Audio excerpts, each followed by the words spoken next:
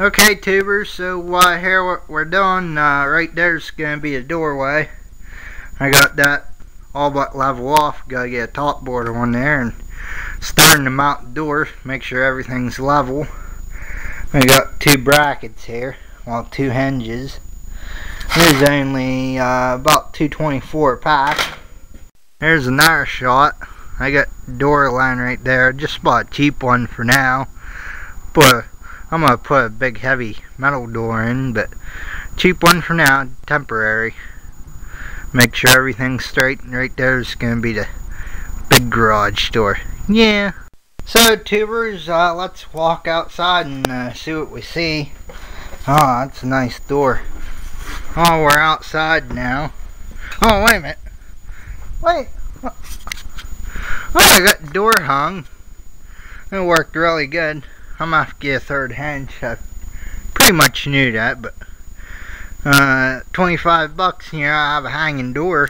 Ain't too bad. Got that on there. Got the top board on there, and looks very nice.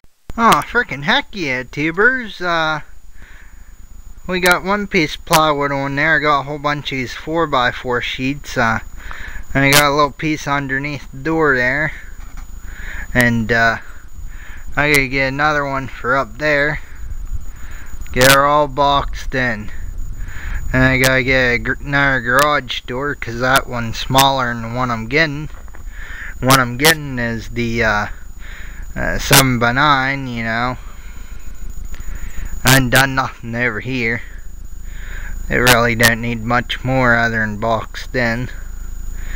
Um, this side over here after I get this whole front building I'm to tear this all down and replace it. I'll show you why. Well, for one reason, uh, you can see it's all uh, busted up and everything else, so um, this is another reason.